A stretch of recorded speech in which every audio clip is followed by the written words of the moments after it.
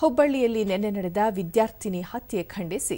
ಬೆಳಗಾವಿ ಜಿಲ್ಲೆಯ ಸವದತ್ತಿ ತಾಲೂಕಿನ ಮುನವಳ್ಳಿಯಲ್ಲಿಂದು ಬಿಜೆಪಿ ಹಾಗೂ ಹಿಂದೂ ಪರ ಸಂಘಟನೆಗಳು ಪ್ರತಿಭಟನೆ ನಡೆಸಿದವು.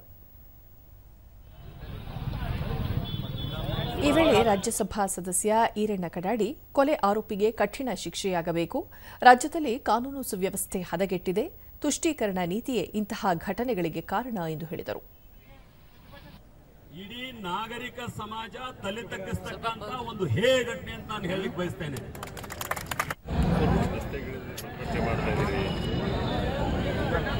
ನಿನ್ನೆ ಉತ್ತರ ಕರ್ನಾಟಕದ ಕೇಂದ್ರ ಸ್ಥಾನವಾಗಿರ್ತಕ್ಕಂಥ ಹುಬ್ಬಳ್ಳಿಯ ಒಂದು ಪ್ರತಿಷ್ಠಿತ ಕಾಲೇಜಿನಲ್ಲಿ ಹಾಡು ಹಗಲಿನಲ್ಲಿ ಫಯಾಜ್ ಅಂತಕ್ಕಂಥ ಒಬ್ಬ ವ್ಯಕ್ತಿ ಕಾಂಗ್ರೆಸ್ಸಿನ ನಗರ ಸೇವಕರಾಗಿರ್ತಕ್ಕಂಥ ಅವರ ಮಗಳನ್ನು ಹತ್ಯೆ ಮಾಡಿರುವಂಥದ್ದು ಇವತ್ತು ಇಡೀ ನಾಗರಿಕ ಸಮಾಜ ತಲೆ ತಗ್ಗಿಸ್ತಕ್ಕಂಥ ಕಾಂಗ್ರೆಸ್ ಸರ್ಕಾರ ಅಧಿಕಾರಕ್ಕೆ ಬಂದ ಮೇಲೆ ಈ ರಾಜ್ಯದಲ್ಲಿ ಕಾನೂನು ಸುವ್ಯವಸ್ಥೆ ಸಂಪೂರ್ಣ ಹದಗೆಟ್ಟು ಹೋಗಿದೆ ಕೇವಲ ಮತ ಬ್ಯಾಂಕ್ಗಳನ್ನು ಕಾಯ್ದುಕೊಳ್ಳುವಂಥ ಅಲ್ಪಸಂಖ್ಯಾತ ತುಷ್ಟೀಕರಣ ನೀತಿಯಿಂದಾಗಿ ಇವತ್ತು ರಾಜ್ಯದಲ್ಲಿ ಕಾನೂನು ತನ್ನ ಅಂಕೆಯನ್ನು ಮೀರತಕ್ಕಂಥದ್ದಾಗಿದೆ.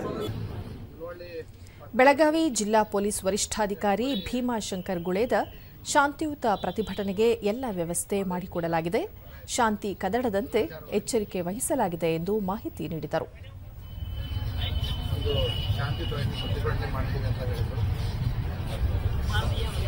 ಪಟ್ಟಣದಲ್ಲಿ ಸ್ವಲ್ಪ